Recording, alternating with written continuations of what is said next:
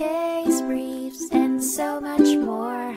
LS Data's got what you're looking for. In 2003, the Supreme Court of South Carolina presided over a case, in re Belding, which enveloped an attorney's shocking misconduct and the consequent implementation of disciplinary action.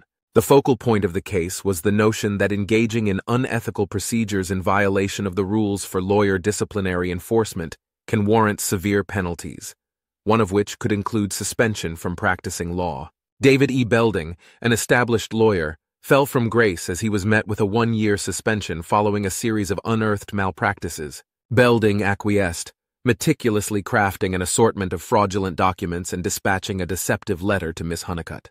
However, the scheme crumbled when a bewildered Miss Honeycutt sought legal advice, instigating a revealing investigation into Belding's actions. These actions were combined with another case involving client Jennifer Carmen, leading to the formal charges by the Attorney General's office against Belding. Upon reviewing the layers of misconduct, the court unanimously convicted David E. Belding of multiple breaches of the rules of professional conduct. This provoked an inevitable and deserved disciplinary action, leading to Belding's suspension from practicing law.